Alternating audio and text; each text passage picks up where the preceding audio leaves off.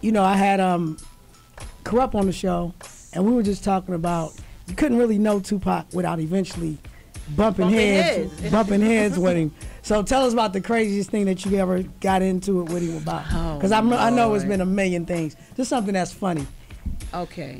Now, or stupid. well, this wasn't funny. okay, it This wasn't was funny. serious, All right. and he was adamant about it. I mean, as always. and he um he really um uh, he when he came to death row he um he was he was fueled he had he had he had he was on a mission Right. so As were you? yeah no this was a different mission Oh, okay.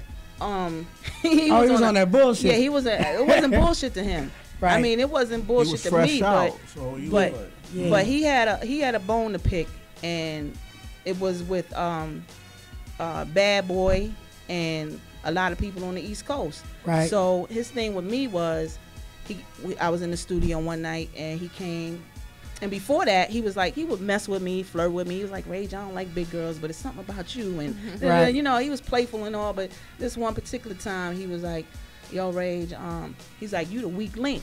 oh, Now, no, I didn't take it. I didn't take it Yeah. because I said I'm the weak link. He Mhm. said, "Yeah, you the weak link on death row," and I was like, "Why is that?" He's like, "Because you was the only motherfucker standing up for them niggas at the Source Awards." right. So I said, "Hmm, I don't think Mm. that makes me the weak link. I think that makes me the strong link because I wasn't gonna let what anybody else. I'm doing me."